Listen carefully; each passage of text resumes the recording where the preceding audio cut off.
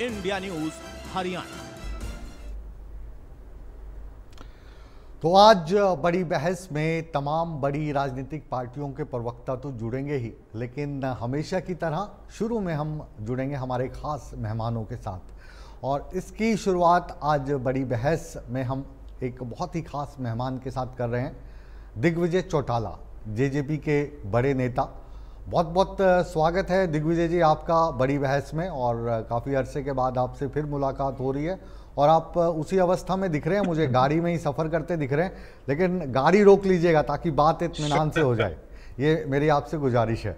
हाँ बिल्कुल मैं मैं मैं आ, बिल्कुल आपकी बात समझ रहा हूँ और मैं माफ़ी चाहूँगा कि मैं समय रहते किसी ठिकाने पर नहीं पहुँचा। मैं रास्ते में ही था क्योंकि इलेक्शन का टाइम है और देर रात हो जाती है। तो, तो बस पाँच मिनट के लिए आप गाड़ी रोक लीजिए उसके बाद फिर हम आपसे जब पहुँच जाओगे तो दोबारा फ़ोन पे बात करेंगे। जी। बस मैं पहुँच गया हूँ। पहुँच गया हूँ आप नेटवर्क नेटवर्क नेटवर्क जारी जी। तो मेरा पहला सवाल ये है दिग्विजय जी कल भी हम बातचीत कर रहे थे तो जो जेजेपी के हमारे प्रवक्ता थे चौधरी साहब वो थोड़ा सा बुरा भी मान गए थे। सवाल ये है कि अभी चुनाव से पहले जो अपने सीपा सलार थे छः ने पार्टी से किनारा कर लिया। इस चीज़ को आप किस तरीके से देखते हैं और पार्टी की रणनीति क्या है? सर सत्यता ये है कि जब पार्टी हमारी नई बनी थी तो बहुत लोगों को हमने शामिल किया और वो लोग वैचारिक तौर पर, मगर वो हमारे साथ आए और उस समय कुछ जिताऊ कैंडिडेट्स की आवश्यकता थी। बहुत सारे नए लोग भी आए। ऐसे में कुछ लोग जीत भी गए। हमारे साथ कभी भी मेल नहीं खाए। और किसी का रुख जो पुराना भाजपा ही था, उसका भाजपा की और कोई कांग्रेस का था, जैसे ईश्वर सिंह जी थे। तो कुछ लोग आए, चले गए। मगर संगठन जो होता है, राजनीति के अंदर सबसे बड़ी बात संगठन है। और संगठन जननायक जनता पार्टी का यूँ का यूँ मज़बूत है, बल्कि और ज़्यादा संगठित, और ज़्यादा मज़बूत पहले से हुआ है। और नेताओं का आना जाना चला रहता है। चौधरी देवीलाल जी ने बल्कि उनके बारे में तो ये परिचित है कि वो स्कूल ऑफ़ पॉलिटिक्स के वो रहे जिसमें बहुत सारे लोग उनसे राजनीति सीख के आगे बढ़ते रहे। तो अच्छी बात है, हमारी इस पाठशाला में भी कुछ लोग आए जिन्हें जिन्हें जिन्हें एमएलए का तगमा मिला और वो लोग चले गए, मगर ये कोई चिंता का विषय जी ये जब पार्टी शुरू हुई पिछले चुनावों के दौरान लगातार आपसे बातचीत होती रही तब ये कहा जाता था ये तो लड़कों की पार्टी है थोड़े दिन में शोर शराबा करेंगे फिर भाग जाएँगे। लेकिन आपने उस वक्त साबित किया कि 10 सीटें आपने जीत ली और 10 सीटें जीत कर आपने जो उस वक्त की बड़ी पार्टी थी भारतीय जनता पार्टी उसको आपके समर्थन के साथ सरकार बनाने में एक तरीके से मजबूर किया। तो ये दो लड़कों की ताकत थी जो दस सीटें लेकर आ गए। आज की तारीख में हालात क्या हैं और आप अपनी पार्टी को कहाँ पे खड़ा देखते हो? क्योंकि अभी जो आपके विधायक छोड़ के गए हैं ये कहीं ना कहीं नेगेटिव फैक्टर तो आपकी पार्टी के लिए पैदा हो ही रहा है इससे।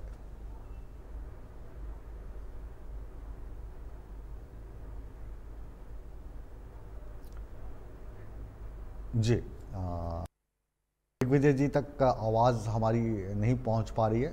वापस इनके साथ जुड़ेंगे और अभी जो बड़ी बहस है, उसमें हमारा आज का जो मुद्दा है कि आने वाले जो चुनाव हैं, इन चुनावों में जो राजनीतिक पार्टियाँ हैं, वो अपने जो आवेदक हैं, उनमें से कैसे ये तय करेंगे कि कौन सा आवेदक है जो इस बार हमें विजय दिला सकता है? हमारी जो सीट्स हैं, उसमें बढ़ोतरी कर सकता है। तो इन तमाम चीज़ों को लेकर राज्य, हम जो अलग अलग राजनीतिक दल हैं, उनके विशेष मेहमानों को अपने साथ जोड़ेंगे, उनके प्रवक्ताओं को अपने साथ जोड़ेंगे और इसी कड़ी में हम बात अभी जो कर रहे थे, वो दिग्विजय चौटाला से कर रहे थे। कुछ नेटवर्क की दिक्कत के कारण उनसे हमारा संपर्क टूट गया है। हमारी टीम लगातार उनको दोबारा से जोड़ने की कोशिश कर रही है। वो जब तक हमारे साथ जुड़ते हैं, एक बार फिर से हम आपको जो हमारी आज की रिपोर्ट है, जो इस बहस का लबो, लबाब कहेगी, वो दोबारा से आप के सामने पेश कर रहे हैं। दिग्विजय जी आ गए हैं तो वापस उनसे बातचीत का सिलसिला जारी रखते हैं। जी, दिग्विजय जी, अब आप मेरी आवाज़ सुन पा रहे हैं? वाह, अब तो आप बढ़िया फ्रेम में आ गए हैं। थैंक यू हाँ थैंक यू सर अब मज़ा आ रहा है अब आपकी गूंजती हुई आवाज़ आ रही है पहले मज़ा नहीं आ रहा था।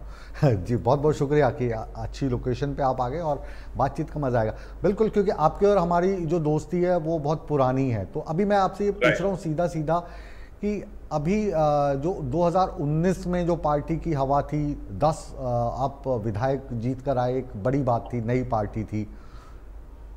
अब क्या हालात हैं 2024 में? कहाँ पर खड़ा देखते हैं आप अपनी पार्टी को? हालात, लोकसभा का जो चुनाव था, उसमें हमें जो सबसे बड़ा डेंट पड़ा, जो सबसे ज़्यादा नुकसान हुआ, वो भारतीय जनता पार्टी के साथ रहने का।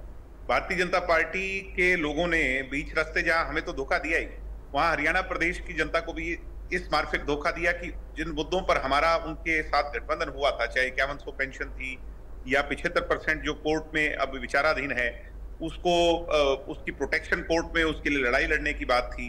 बीजेपी उन तमाम मुद्दों से पीछे हट गई।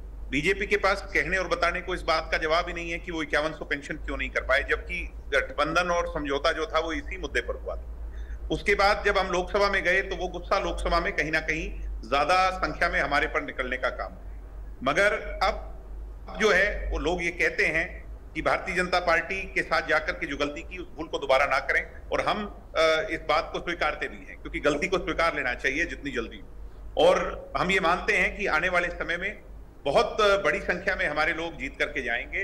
ना केवल जीत करके जाएँगे, बल्कि मैं बड़े विश्वास से कह सकता हूँ कि चंडीगढ़ की विधानसभा का जो ताला है, वो जननायक जनता पार्टी की चाबी से खुलेगा। और मुकेश जी, मैं ये भी विश्वास आपको दिलाता हूँ कि पहली सीट जेजेपी के कोटे में डवाली की हो जी। चलिए, उसके लिए तो डबवाली की सीट के लिए तो मैं आपको एडवांस में शुभकामनाएँ दे दूँ। या गुड लक कह दूँ, लेकिन अभी आप जो कह रहे हैं कि भारतीय जनता पार्टी के साथ जो गठबंधन किया, वो आपकी गलती थी है आज आप मान रहे हैं, लेकिन जो आपके वोटर्स थे, वो पाँच साल से आपको इस बात का एहसास करा रहे हैं। तो अब आप ये लाइन कह सकते हैं, भला हुआ जो मटकी फूटी, पानी भरन से छूटी, मेरी भली करेंगे राम जी। तो अब जो वोटर्स हैं, आप उनको किस तरीके से समझा रहे हो कि भाई ये गलती हमसे हो गई थी, अब हम अलग हो गए हैं? गुस्सा है उनमें, नहीं है? क्योंकि अब लगातार हम देख रहे हैं, फ़ील्ड में जा रहे हैं आप भी, दुष्यंत चौटाला जी भी, अजय चौटाला जी, आपके कार्यकर्ता भी। तो क्या है अभी हालात हाजरा? लोग कन्वींस हो पा रहे हैं आपकी इन बातों से?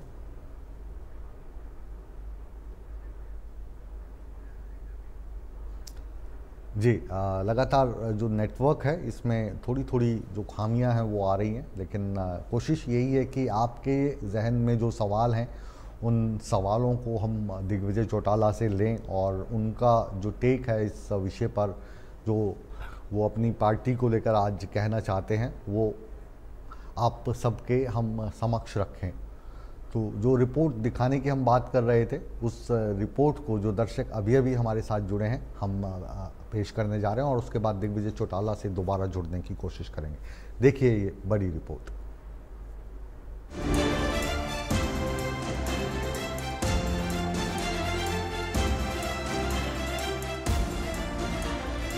विधानसभा चुनाव का काउंटडाउन शुरू हो चुका है। पाँच सितंबर से नामांकन का दौर शुरू हो जाएगा। लिहाजा सभी राजनीतिक दलों में टिकटों को लेकर चिंतन और मंथन का दौर चल रहा है। गुरुग्राम में बीजेपी प्रदेश चुनाव समिति की दो दिवसीय बैठक हुई, जिसमें मुख्यमंत्री और प्रभारी से लेकर तमाम वरिष्ठ नेता मौजूद रहे। दावेदारों के नाम पर जिलेवार चर्चा हुई। प्रदेश चुनाव समिति की ओर से नामों के पैनल हाईकमान को भेजे जाएँगे। जहाँ टिकटों पर फाइनल मुहर लगेगी।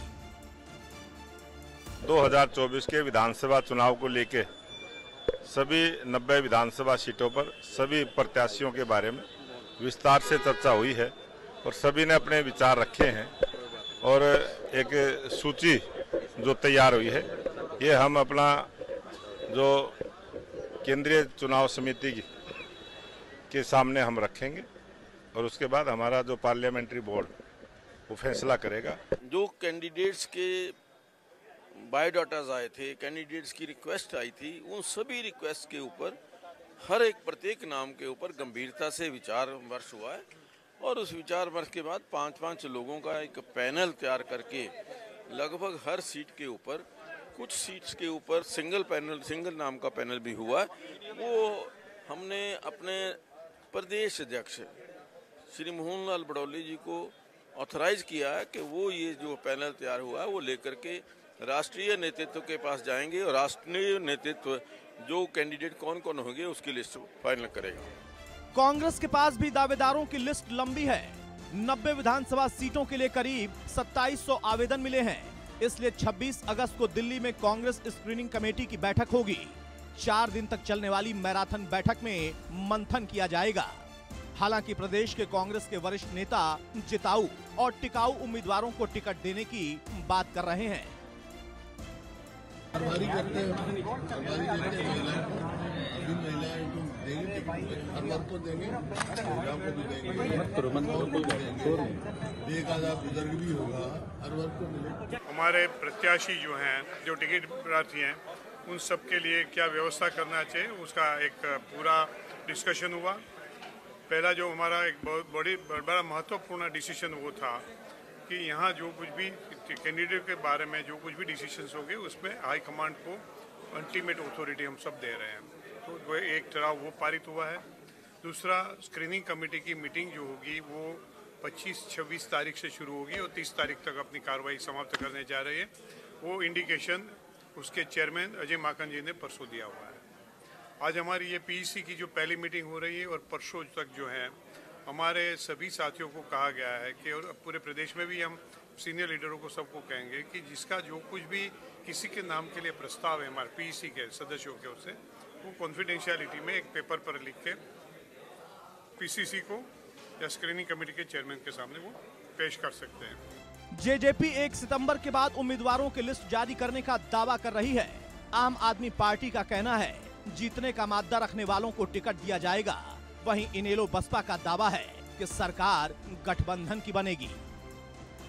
और मैं तो चाहूँगा कि मुख्यमंत्री करनाल टिके रहे। अभी तो लोगों को यह था कि छह महीने तीन महीने में काम करा दें। आप देख लेना मुख्यमंत्री अगले दस दिन में करनाल विधानसभा को भी छोड़ के भागने का काम। जेजेपी कब तक उम्मीदवार की घोषणा करने की उम्मीद है? पीएससी की बैठक एक तारीख को बुलाएँगे उसके बाद घोषणा। बहुत जल्दी जारी हो जाएगी। अब तो चुनाव के डिक्लेरेशन भी हो गए तो बहुत जल्दी हो जाएगी। देखो, बड़ी स्वाभाविक सी बात है, जो आपके पास पहले से जुड़ा हुआ व्यक्ति है, जो काम कर रहा है, अगर वो जीतने के योग्य है, तब निश्चित रूप से किसी दूसरे को सोचने का प्रश्न नहीं उठता है। लेकिन कई बार ऐसी परिस्थिति आती है कि आपको जीतना है चुनाव तो जनता जिसको कहती है, जनता से आप पूछो कि भाई आप कल आए इंटरेस्ट इंटरेस्ट लेके कि भाई मुझे चुनाव लड़ना है। और जनता अगर कहेगी कि भाई फलाने आदमी को टिकट दो तो आम आदमी पार्टी की डिसाइड करती है क्यों साथ? इस बार का विधानसभा चुनाव कई मायनों में अहम है, इसीलिए आम से लेकर खास सभी को टिकट की आस है। लेकिन देखना यह होगा कि राजनीतिक दल अपने कार्यकर्ताओं या जिताऊ उम्मीदवारों पर भरोसा जताएँगे या फिर विरासत की परंपरा हावी रहेगी।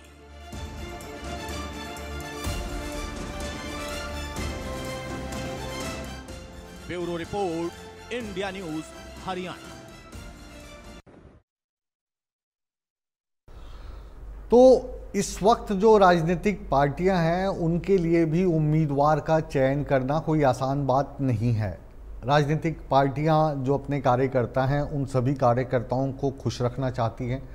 लेकिन ये जो कार्यकर्ता हैं और इसमें से जो टिकट के प्रार्थी हैं, जो इस विधानसभा चुनाव में खुद को विधायक के तौर पर देखते हैं, विधायक के तौर पर चुनाव लड़ना चाहते हैं तो उनकी संख्या काफ़ी ज़्यादा है। कांग्रेस की हम बात कर रहे थे तो कांग्रेस में लगभग 2700 लोगों ने 2700 लोगों ने अप्लाई किया है 90 सीटों के लिए। यानी एक सीट पर लगभग 30 ऐसे लोग हैं एवरेज के हिसाब से, जो विधायक बनना चाहते हैं। टिकट एक को मिलेगी। तो बाकी जो 29 हैं और 29 लोगों के साथ जो उनके चाहने वाले हैं तो उनको कैसे संभाल के रखना है? और एक जो आएगा उसकी विशेषता क्या होनी है, ये पार्टी को तय करना काफ़ी टेढ़ी खीर है। दिग्विजय चौटाला एक बार फिर से हमारे साथ जुड़े हैं। लगातार नेटवर्क की दिक्कत हो रही थी, इसके लिए माफ़ी चाहेंगे दिग्विजय जी आपसे। लेकिन अब जो बात हमारी बीच में अधूरी रह गई थी, उस बात को हम पूरा करते हैं कि अब जो आपकी पार्टी है, अब 2024 में जो चुनाव होंगे, इसमें किस आधार पर आप अपने जो उम्मीदवार हैं, उनका चयन करेंगे। किस तरीके के उम्मीदवार आपके पास आ रहे हैं, जो आपसे टिकट मांग रहे हैं। जेजेपी की चुनाव में खड़ा होना चाह रहे हैं। युवाओं की संख्या ज़्यादा है या बात सामने ये आई थी कि जो बागी हैं, उन पर आपका खास ध्यान रहेगा इस बार? दूध का जला, छाछ को भी फूक फूक कर पीता है। और ये गलती हम पिछली बार कर बैठे हैं। कुछ नए लोगों को हमने इस तरह से किया। मगर हम पार्टी लाइन के कैडर के वफादार लोगों को ये जिम्मेवारी देना पसंद करेंगे, सर। तो अभी जो पार्टी कैडर के लोग हैं आपके, उनसे आपका रास्ता हो रहा है और 90 सीटों में पहले आप बोल रहे थे कि हम चुनाव लड़ने में सक्षम हैं, लेकिन आज सुबह जो आपका बयान आया है, वो बयान ये था कि आप महागठबंधन के साथ चुनाव लड़ेंगे। तो ये जो महागठबंधन है इससे आपका तात्पर्य क्या है? महागठबंधन में कौन सी पार्टियाँ होंगी? नहीं महागठबंधन की बात मैंने कहीं नहीं कही। मैंने कहा कि एक ऐसा गठबंधन कायम करेंगे जिसमें समान विचारधारा के तमाम लोगों को साथ लाने का प्रयास करेंगे। महागठबंधन तो फिर मीडिया ने उसे टर्म दे दिया। मैंने कहा था कि कुछ लोगों से हम संपर्क में हैं और जल्द वो बातें जनता के सामने जब भी वो तय हो जाएँगी जनता के सामने रखेंगे। बिना तय हुए आधारहीन बात मैं आपके जिम्मेवार न्यूज़ चैनल पे नहीं करना चाहता। तो तमाम चीज़ें तय होंगी। तो आ, कुछ लोग हमारे साथ ज़रूर आए। जी तो ये जो जो आपकी विचारधारा से जिनको कोई आपत्ति नहीं है या आपकी विचारधारा से मिलती जुलती जो विचारधारा के लोग होंगे उनको आप जेजेपी में या तो ला सकते हैं या उनके साथ सीटों का बंटवारा कर सकते हैं। थोड़ा सा हमें विस्तार से इसमें बता सकते हैं कि कौन से ऐसे लोग हैं या दल हैं जिनकी तरफ़ आपकी पार्टी इस वक्त रुझान कर सकती है। चाहे किसान हो कमेरा हो, गरीब हो, मजदूर हो, दलित हो बैकवर्ड हो, छत्तीस बिरादरी जो हरियाणा प्रदेश की किसान और कमेरे वर्ग की बिरादरी है, उसकी सोच की हिमायत करने वाली अगर कोई और पॉलिटिकल पार्टियाँ हैं, अभी आप जानते हैं कि आज के परिदृश्य में कौन सी पॉलिटिकल पार्टियाँ हैं, उनको पास साथ लाने का प्रयास हम ज़रूर करेंगे। और उसमें हम कामयाब होंगे और बड़ी मजबूती से चुनाव लड़ेंगे। आपने एक सवाल पूछा था जब नेटवर्क कट गया था आपने कहा था कि आप कैसे आप पार्टी के प्रति इतना जोश भरने का काम करेंगे जबकि 2019 में बहुत जोश था। जिस समय पर हम बात कर रहे हैं अभी एक महीना और लगभग एक सप्ताह बचा है। जब अगर मैं मुकेश जी बात करूँ उस समय आप चैनल हेड ही थे एक चैनल में और यही समय था जब मीडिया चैनल्स हमें ज़ीरो टू वन या zero two two seat at max दिखा रहे थे। कुछ कहते थे, माँ बेटा तो जीत जाएँगे पार्टी का क्या होगा ये पता नहीं। उसके बावजूद जननायक जनता पार्टी की जो लहर लास्ट में बनी और आज भी उसकी चर्चा होती है और जब तक हरियाणा की राजनीतिक पर चर्चा होगी तो जननायक जनता पार्टी के उदय की चर्चा ज़रूर होगी। तो मैं ये बड़ा विश्वास से कह सकता हूँ कि अभी कुछ दिन का इंतज़ार करिए। हमारा मैनिफेस्टो जब जनता के हिमायती मैनिफेस्टो सामने आएगा तो हम लोगों का दिल जीतने में बहुत मजबूती से कामयाब होंगे और लोग हमें वोट जी अभी आ, क्योंकि आप दिग्विजय जी मैनिफेस्टो की बात कर रहे हैं अभी जितनी भी पार्टीज़ के मैनिफेस्टो आ रहे हैं उनमें जनता को लाभ पहुँचाने के लिए होड़ सी मची है। चाहे वो आप वृद्धावस्था पेंशन की बात करें चाहे आप स्टूडेंट्स के लिए बेरोज़गारी फ़ंड की बात करें गैस सिलेंडर की बात करें एक पार्टी कहती है हम 500 में देंगे तो दूसरे कहेंगे 400 में देते हैं। एक पार्टी कहती है हम वृद्धावस्था पेंशन चार हज़ार देंगे तो कोई कहता है हम छः देंगे। तीसरा मैनिफेस्टो आता तो हम सात हज़ार देंगे। तो क्योंकि आपकी एक पढ़ी लिखी पार्टी है। पेंशन बढ़ाने का काम जी। इस सरकार में हमने किया है। और मैं एक तथ्य ये भी आपके सामने रखना चाहता हूँ बीजेपी के लोग कहते हैं कि हमने तीन हज़ार कर दी मैं बीजेपी के लोगों से बड़ी पोलाइटली ये बात पूछना चाहता हूँ कि आपकी सरकार अन्य प्रांतों में भी है। मेरे हिसाब से 10 12 15 प्रांतों में बीजेपी की अन्य सरकार होगी। वहाँ पर पेंशन कितनी है। क्या नज़दीक भी है तीन हज़ार? वो कितना संघर्ष दुष्यंत चौटाला को सरकार में बैठकर करना पड़ा और उस बात को कितना लगातार उठाना पड़ा? और लास्ट में जब समझौता टूटा, उसका आधार भी ये पेंशन बनी। बीजेपी के शीर्ष नेतृत्व दुष्यंत जी ने अल्टीमेटम दिया था कि आप पेंशन कर दीजिए। मुझे लोकसभा चुनाव अगर ना भी लड़ना पड़े तो मैं आपको दस की दस सीटों पर समर्थन कर दूँगा, मगर पेंशन आप इक्यावन सौ कर दीजिए। इस बात से भी जब वो पीछे हट गए तो बीजेपी ने अपना असली चेहरा दिखा दिया। तो कहीं ना कहीं दुष्यंत चौटाला की नेक नीयत साफ़ नीयत दर्शाती है कि वो प्रोग्रेसिव पॉलिटिक्स करना चाहते हैं। पिछहत्तर परसेंट आरक्षण हरियाणा की बेरोजगारी की खाई को भर देता। मगर उसको इन्हीं कांग्रेस के नेताओं ने इनकी एडवोकेट ब्रांच ने जाकर के अदालतों में खड़ा होकर रुकवा दिया। और दीपेंद्र हुड्डा के घर लड्डू बटे थे जिस दिन ये पिछहत्तर परसेंट आरक्षण रुका था। तो शर्म आनी चाहिए। आ, ऐसे लोगों को जिन लोगों जिन जिन पिछहत्तर परसेंट जैसे कानून से लोगों को फ़ायदा होना था। वहीं महिलाओं को अगर आज पचास परसेंट आरक्षण दिया, महिला आदि सरपंच चुन करके आई हरियाणा में। आप किसी भी गाँव में जाएँ, हर ऑल्टरनेटिव गाँव के अंदर एक महिला सरपंच ज़रूर मिलेगी। और वो आज शायद लोग इस बात की चर्चा मत करें। मगर पेंशन जब चौधरी देवीलाल जी ने शुरू की थी, उसके बाद उन्हें पॉलिटिकल खामियाजा बाद में भुगतना पड़ा था। मगर आज तक भी पेंशन को लोग याद करते हैं कि पेंशन चौधरी देवीलाल जी की सबसे बड़ी देन है। मैं ये कह सकता हूँ कि भविष्य में जब भी राजनीति पर चर्चा होगी और महिलाओं की चर्चा होगी तो दुष्यंत चौटाला को याद किया जाएगा, जिसने 50 परसेंट आरक्षण पंचायती राज विभाग में इनको दिया। किसान की फ़सल सीधे एमएसपी पर खरीदने का काम और 16 फ़सल पर एमएसपी कोरोना काल के अंदर 1100 से ज़्यादा नई मंडियाँ और खाते में पैसा। सर, मैं मुकेश जी एक बात कह सकता हूँ। दीन बंधु सर छोटू राम इस बात पर लड़ाई लड़ी उनने। सारी उम्र। टिकैत साहब ने लड़ाई लड़ी, चौधरी देवीलाल जी ने सारी उम्र इस बात पर लड़ाई लड़ी कि खाते में सीधा पैसा जाना चाहिए, बिचौलिया सिस्टम खत्म होना चाहिए। हमने सबसे पहले कर करके दिखाया। तो काम बहुत किए, मगर हम बदनाम ज़्यादा इसलिए हो गए कि हम बीजेपी के साथ थे और कांग्रेस के लोग बार बार यही चीज़ कहते रहे कि ये बीजेपी के साथ क्यों चले गए? हम गए तो दस सीट हुड्डा साहब को भी हमने ऑफ़र किया था मगर वो मैथमेटिकल इक्वेशन लोगों को नहीं बताते वो छुपते घूमते जी आज, आज जो हुड्डा जी कहते थे कि आज हम दोनों आमने सामने हैं और दिग्विजय क्योंकि ये वाली बात आपने मुझसे कही थी आपको भी याद होगी कि जो कांग्रेसी हैं उनके घर तो हम चाय भी नहीं पीते लड़की भी नहीं ब्याते। ये बात आपने मेरे से कही थी। याद है आपको? तो ये तो हाँ। ये ये याद आपको है मैं इसी बात का अचंबा मान रहा हूँ मैं हुड्डा साहब से ये पूछना चाहता हूँ। हाँ। कि वो नायब सिंह सैनी की सरकार को लगातार छह महीने या तीन महीने जो भी हुए हैं हम्म। उसमें कहते हैं कि अल्पमत की सरकार है। हम्म। अल्पमत की सरकार है हम्म। और हमारे पाँच विधायक आपके साथ जा चुके हैं चार जा चुके हैं जो भी संख्या है आपकी संख्या बल पूरी है। आपने किरण चौधरी के खिलाफ कैंडिडेट क्यों नहीं उतारा? संख्या बल सर यही थी। और जब संख्या बल यही थी अपने बेटे को एमपी बनाना था तो सब कुछ कुर्बान कर दिया। मैं और मेरा से आगे वो बढ़ ही नहीं पाए। आज जब कोई किसान की बेटी या खेल खिलाड़ी चाहे विनेश फोगाट की बात कर लू आज उन्हें घर पर बुलाकर चाय पिलानी तो याद है मगर विनेश फोगाट को राज्यसभा भेजने की बात पर चुप हो जाते हैं कहते हैं कि विधानसभा लड़वा देंगे। अरे जब नंबर आपके साथ है सेंटिमेंट विनेश के साथ है तो उसे चुनाव क्यों नहीं लड़वाया दिग्विजय जी तो जवाब नहीं होता जी विनेश विनेश फोगाट की जो उम्र है ना वो भी राज्यसभा के कैंडिडेट के तौर पर अभी मेरे ख्याल से छह दिन कम है तो इसका मुद्दा क्यों बनाते हैं हाँ। नहीं विनेश फोगाट की उम्र कम हो सकती है हम्म। मैं मान सकता हूँ चार दिन कम है मुझे जो ज्ञान है हम्म। मगर और भी तो बहुत सारे कैंडिडेट्स हैं। ऐसे लोग हैं जो सामान्य तौर पर सब लोगों को एक्सेप्टेबल है। उन लोगों को आगे क्यों नहीं किया? कम से कम प्रयास क्यों नहीं किया? हार और जीत दो पहलू हैं। अब हुड्डा साहब जब चुनाव लड़ेंगे विधानसभा का तो उनके सामने कोई और दूसरा भी चुनाव लड़ेगा। ये सोच करके थोड़ी लड़ेगा कि हार और जीत होगी।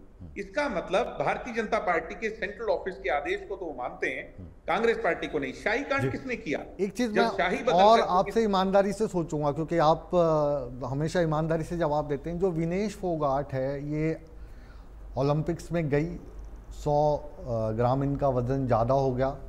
रूल्स के मुताबिक ये इनको मेडल नहीं मिला जिसका हर भारतीय को दिल से दुख है। उनमें से मैं भी एक हूँ आप भी एक हैं। और जिन्होंने उनको ये शिक्षा दीक्षा दी, वो भी हमारे बहुत अच्छे दोस्त हैं। महावीर फोगाट जी, उनको भी दोष है। उनको भी बहुत दुख है। कोच को भी दुख होगा। ये विनीश फोगाट जो हैं, हमारी देश की स्टार बनी है। इसमें कोई दो राय नहीं है। लेकिन बाकी जो खिलाड़ी जीत कर आए हैं, चाहे उसमें स्वर्ण पदक हासिल नहीं कर पाए, भाला फेंकने की जो प्रतियोगी में में थे नीरज चोपड़ा उनको लेकर ये राजनीति नहीं हो रही है। जो सरबजोत हैं वो भी सिल्वर मॉडल लेके आए। मनु भाकर को कोई नहीं कहता कि इनको राज्यसभा भेज दो।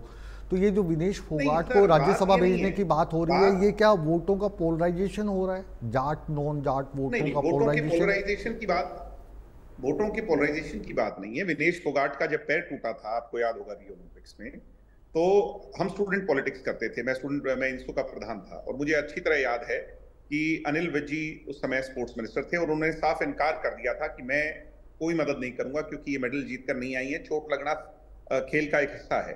तब हम लोगों ने सबसे पहले विनेश को उसका स्वागत किया और बच्चों ने, मैं ये इसमें कोई अपनी पीठ थपथपा नहीं रहा। मेरे संगठन के बच्चों ने 11 लाख एकत्रित कर करके सबसे पहले विनेश को और उस समय इकलौता सम्मान दिया। विनेश फोगाट ने देश का नाम ऊँचा किया, वो संघर्ष करती हुई, लड़ती हुई उनके साथ जाए, जो भी हुआ बट इनजस्टिस हुआ, ये हम सब लोग मानते हैं। तब ना भूपेंद्र हुड्डा थे उस समय, ना दीपेंद्र हुड्डा थे। मगर आज उनको राजनीति करनी है, ये उनकी इच्छा है। आज उन्हें टिकट देनी है। मगर जब बात इस बात की छिड़ी थी उन्होंने कहा था, मेरी, मेरे पास संख्या बल होती तो मैं दे देता। तो मैं सिर्फ़ उसका राजनीतिक जवाब देना चाह रहा हूँ कि संख्या बल आपके पास है। हुड्डा साहब, जनता को गुमराह करने की ज़रूरत नहीं।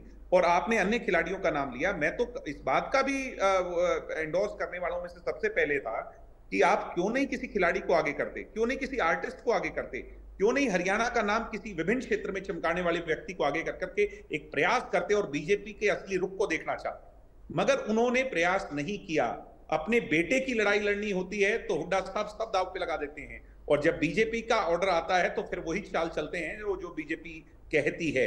मैं आज बड़े विश्वास से कह सकता हूँ कि हुड्डा साहब को अगर फ्री हैंड कांग्रेस में मिला तो वो टिकटे भी वही बांटेंगे जो बीजेपी कहे। अच्छा आपको मतलब आप ये कह रहे हैं कि बीजेपी और जो कांग्रेस है वो मिली हुई है? बीजेपी और कांग्रेस नहीं मिली हुई सर। हम्म, ये हम्म। गलतफहमी है। हम्म। बीजेपी और भूपेंद्र हुड्डा मिले हुए हैं और उसके पीछे डर क्या है? ये हरियाणा प्रदेश की जनता खूब जानती है। तो बहुत हरियाणा में तो कम लोग हरियाणा में तो दिग्विजय जी जो कांग्रेस का प्रायवाची वो भूपेंद्र सिंह हुड्डा ही हैं। इसमें कोई दो राय है? बहुत बहुत कम लोग इस बात को जानते हैं और बहुत कम लोग ऐसे होते हैं जो संघर्ष की राह को चुनकर दस दस सालों की कैदे काट लेते हैं सर। ये कोई बच्चों का खेल नहीं ये हुड्डा साहब को तो मुझे लगता है सपने में भी आता होगा तो डर लगता होगा। नहीं ये जिस तरफ़ आप इशारा कर रहे हैं वो मैं समझ रहा हूँ और हरियाणा कि जो लोग हैं वो भी समझ रहे होंगे कि 10 साल जेल में रहकर आए तो वो एक बड़ी बात थी। और ज़ाहिर है कि वो एक अलग चर्चा का विषय होगा। अब हम 2024 मैं आपसे सर एक मुकेश जी मैं एक मिनट बात अपनी कंप्लीट कर जी। ये हुड्डा साहब हर बात से बचते क्यों हैं? मैंने हुड्डा साहब से कहा था कि हमारे पर आप एलिगेशन लगाते हैं बीजेपी के साथ जाने का। मैंने कहा था हुड्डा साहब से कि हुड्डा साहब ये बताइए कि दिग्विजय चौटाला और डॉक्टर के सी बांगड़ की सबसे पहले बातचीत सरकार बनाने के लिए कांग्रेस से हुई थी या नहीं हुई थी? मेरी तीन दफे उनसे टेलीफोन पर बातचीत हुई। मेरे पास रिकॉर्ड आज भी हाजिर है। जिस दिन मांगेंगे मैं उस दिन जनता के सामने रख दूँगा। टेलीफोन कॉल्स का रिकॉर्ड मेरे पास है। मगर जवाब नहीं देते, कहते हैं वो तो आ, वो तो बच्चा है वो क्या जानता है? हाँ। तो इस तरह की बातें कर करके गुमराह नहीं कर सकते जनता को। आज कांग्रेस की एक अजीब सी हवा है क्योंकि लोग मोदी जी के खिलाफ एक माहौल था देश में। सिर्फ़ उस बात की एडवांटेज लेकर सत्ता करना चाहते हैं मगर इन बातों का जवाब तो देर सवेर हुड्डा साहब देना पड़ेगा जी। चलिए दुष्यंत जी से भी कुछ रोज़ पहले मुलाकात हुई बात हुई उनका इंटरव्यू हमने किया तो उनसे भी ये सवाल पूछा था आपसे भी यही सवाल पूछता हूँ कि अभी कमोवेश जो राजनीतिक हालात देखने को मिलते हैं, प्रदेश में भाजपा की सरकार बनेगी, आपने इनकार कर दिया है कि आप उनके साथ नहीं जाएँगे। प्रदेश में अगर कांग्रेस की सरकार बनेगी तो क्या जेजेपी उनको बाहर से या अंदर से समर्थन दे सकती है, गठबंधन कर सकती है? ये भविष्य के गर्भ में है कि जनता किस दुराई पर ला करके खड़ा करती है, या किस दिशा में आगे बढ़ाती है। सर, हमें थोड़ी पता था कि हमारी दस सीटें आएँगी, और हालात ऐसे बन जाएँगे कि किसी एक के पक्ष में पूरी सरकार नहीं बन रही होगी, हरियाणा। और उस समय की बात मैं कर रहा हूँ कि हमने हुड्डा साहब को बीजेपी से पहले ऑफ़र दिया था और बात करने वालों मध्यस्थता करने वालों में मैं था और डॉक्टर के सी बांगड़ थे हमारी पार्टी के सीनियर नेता है। मगर उस समय हुड्डा साहब बैकआउट कर गए थे। अब पीछे की बात है जब बीजेपी की सरकार को गिराने की बात आई और लोगों में एक आस और उम्मीद जगी कि नायब सिंह सैनी की अल्पमत की सरकार गिर सकती है तो हुड्डा साहब फिर पीछे हट गए। और अब राज्यसभा की बात आई तो हुड्डा साहब फिर पीछे हट गए। तो मैं कितने उदाहरण दूँ और कितने ना दूँ अब इससे तो मुझे लगता है कि आ, समय बहुत लंबा बीत जाएगा। बात वो, ये वो, है वो वाला जो दौर है 2019 का तब भी उस दिन भी आप इसी वक्त हमारे साथ लाइव जुड़े थे टेलीविज़न पे और ये सारी बातें हुई थी। आपने भी कहा था हमने हुड्डा साहब को भी कहा है कि आप ले आओ विधायक तो आपको समर्थन दे देंगे। वो मुझे पूरा घटनाक्रम याद है।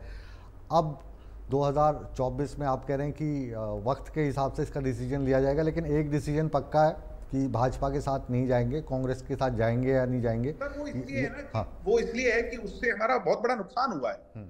और हम हम ना समझ होंगे ये हमारी बहुत बड़ी गलती होगी हम बीजेपी के साथ किसी भी अलायंस में जाते हैं हम्म। क्योंकि जनता को